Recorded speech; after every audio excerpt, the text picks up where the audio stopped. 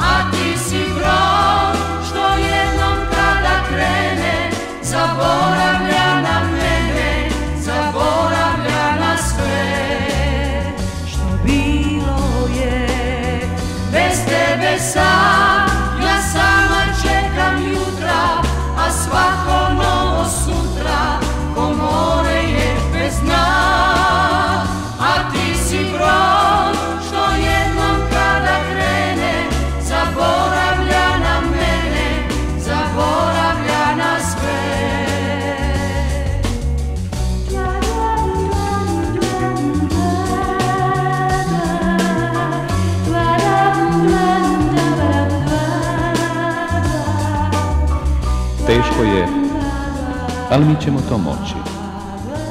Sad ćemo se zagrliti, oprostiti se i poći.